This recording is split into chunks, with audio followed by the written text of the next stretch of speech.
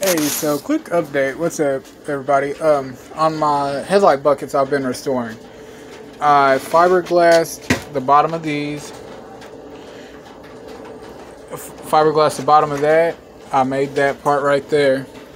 Sealed that part up. I had to use the fiberglass like two or three times. I was trying to do this part. It kept falling off. It wouldn't. Uh, it wouldn't cure right sanded it down to 150. I used 150 grit sandpaper. Still uh, kept falling off and sliding off. Wasn't sticking to the plastic. I used uh, fiberglass filler and the fiberglass filler hardener. Still kept doing it. Hold on. And it still kept uh, the when I used the fiberglass filler, I could literally just do like this and it would come off. I did I did. Uh, I used the fiberglass filler and um, Bondo hardener. Mixed it up, and it was kind of like a reddish green.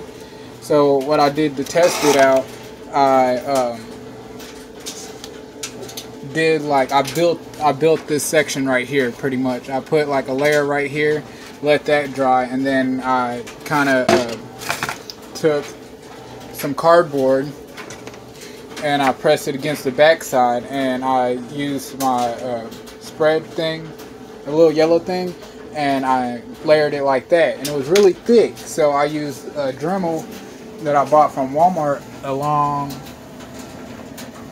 a long time ago, and just uh, shaped it like that with the Dremel and sanded it down quicker.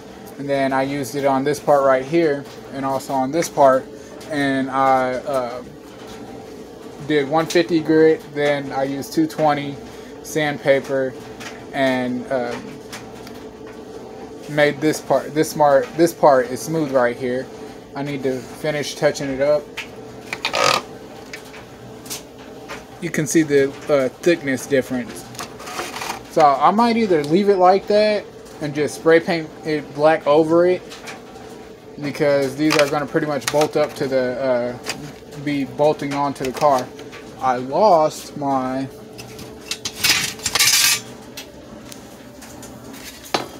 passenger side, driver side, uh, yeah, my driver side little marker thing. I think it's in the trunk of the Impala or it's in the shed. It's somewhere. It's it's running around here somewhere. So I'll find that later on when I go to install these how I did my holes, how I'm going to drill my holes. Where's it at? I traced this out. This works for both sides. That work. This is for the passenger side. I flip it over, and it works for the driver side. Um, how I'm doing the holes. I went out to the car and just took this piece of cardboard with me and marked where the holes are at on the uh, core support. And then I'm just like pretty much lining it up and I'm going to drill the hole like that.